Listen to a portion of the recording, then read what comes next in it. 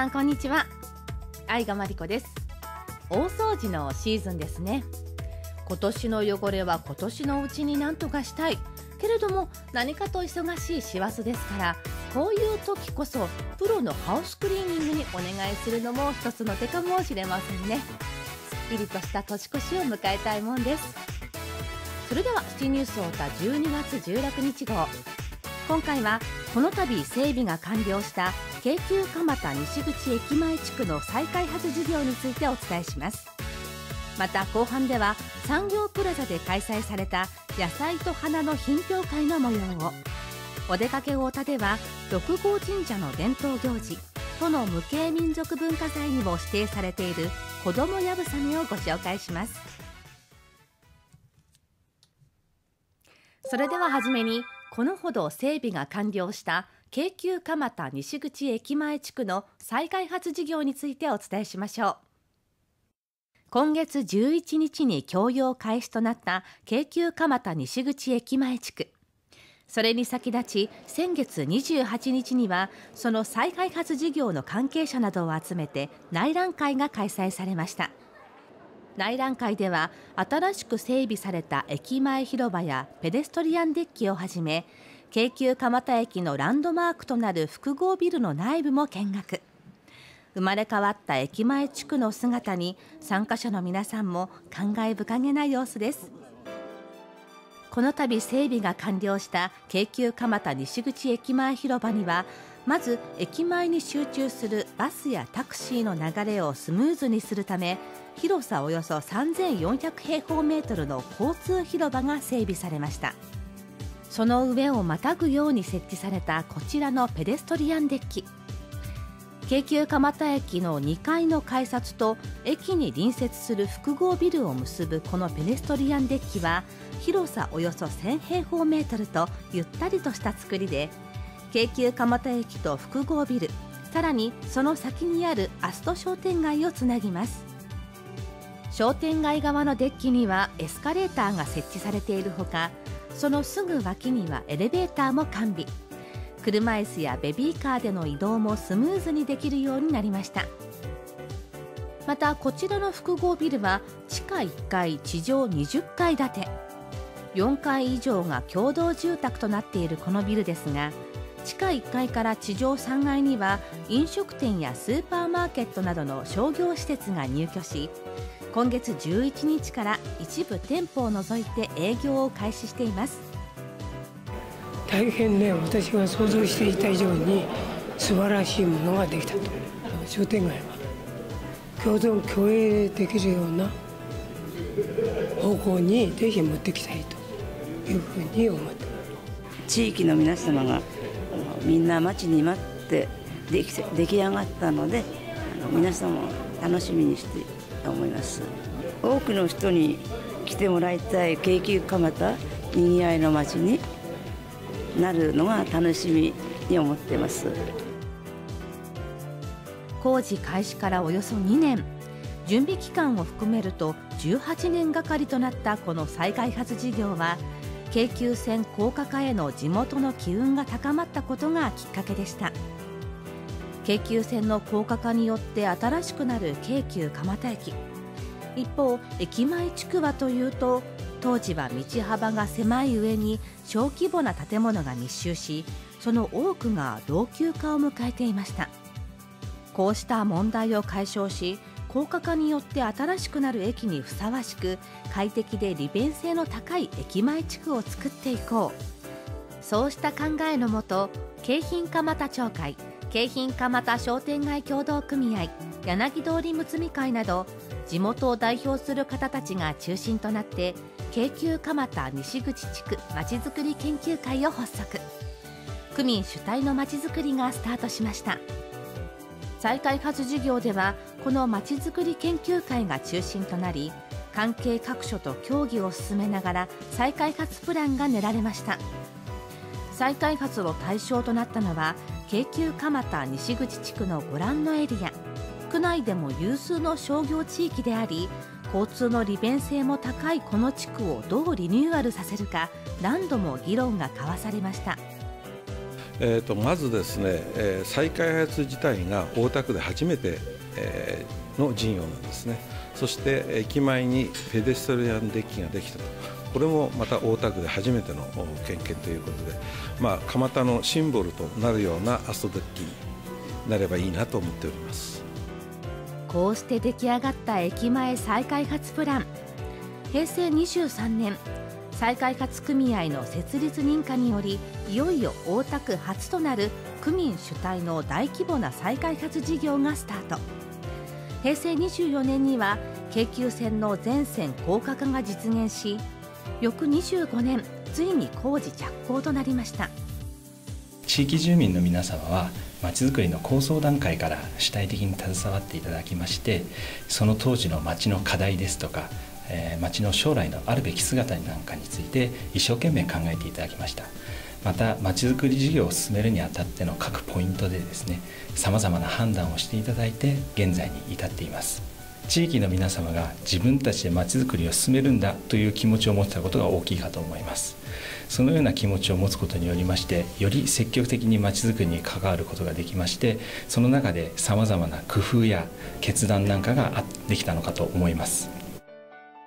工事が始まってからも再開発事業がスムーズに進むよう協力してきた町の皆さん。今後の京急蒲田地区の活性化に期待を寄せています。駅前広場だけではなくこの町の良さをよく知っていただきて、えー、住みよい町にしていきたいと思ってます。それと、えー、若い方たちが大勢来ていただいてできれば持続的に、えー、長くこの町にいていただいてえー、住んでいただければこの町の良さはもっとよく分かりますのでぜひ皆さんに、えー、来ていただきたいとかように思ってます。新しくなった京急蒲田の西口駅前地区。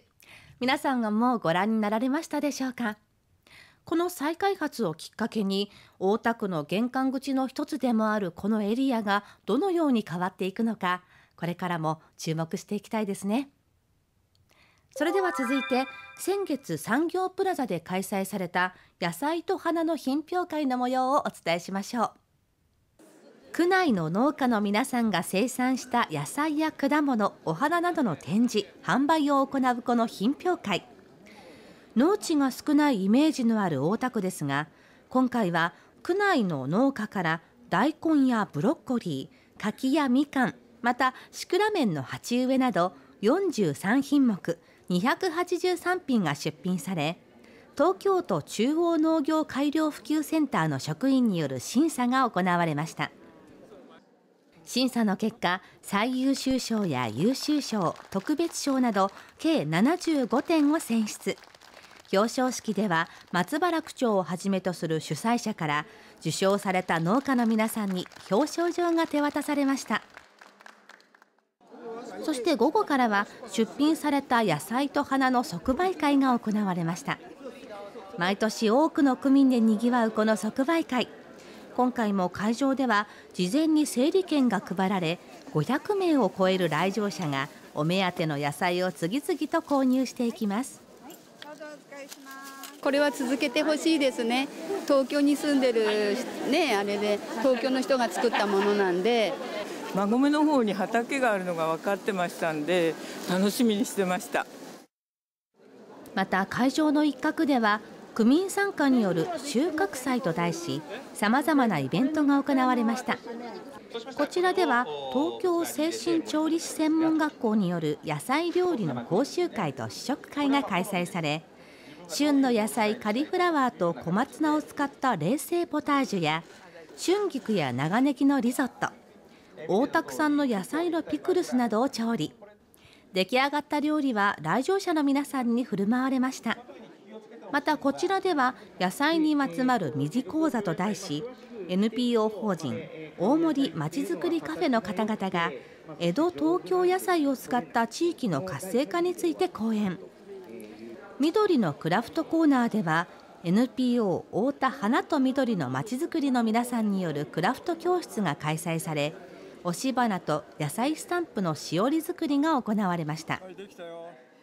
このほか大田区の友好都市長野県東御市と秋田県三郷町の物産販売や江戸東京野菜野菜の宝船の展示などが行われた今回の品評会。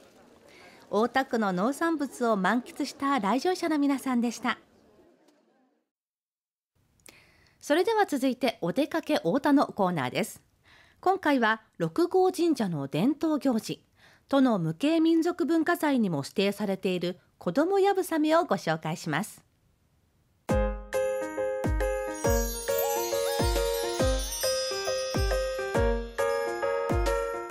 お揃いの紙紐に身を包み手を引かれながら前へと進む子どもたち。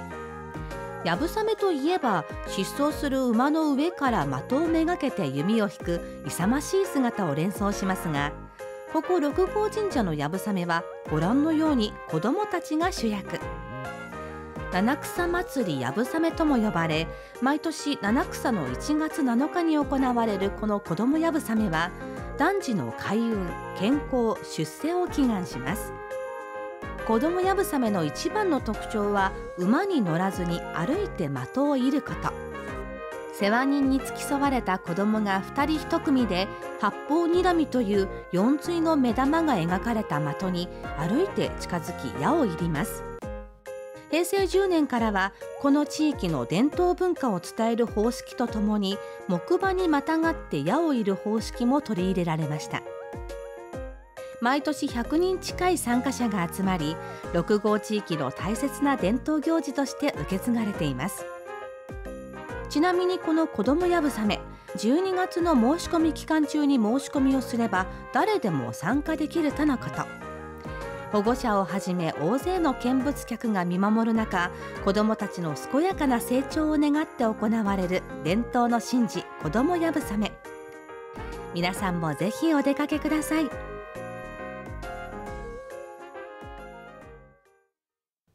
以上お出かけ大田のコーナーでした。それでは最後に大田区からのインフォメーションです。大田区では12月31日から1月3日まですべての資源の回収とゴミの収集をお休みします。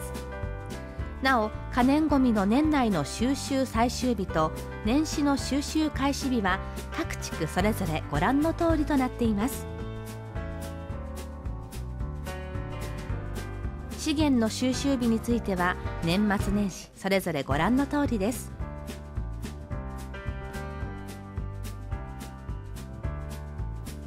また不燃ごみの収集は年内は各地区それぞれご覧の通りです。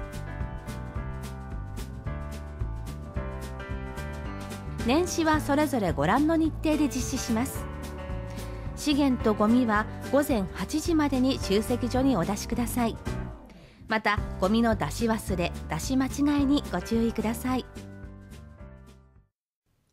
以上大田区からのインフォメーションでした。さて今回のシティニュースおおたいかがでしたでしょうか。次号1月1日号では松原区長の新春インタビューの模様をお伝えします。それでは次号もどうぞお楽しみに。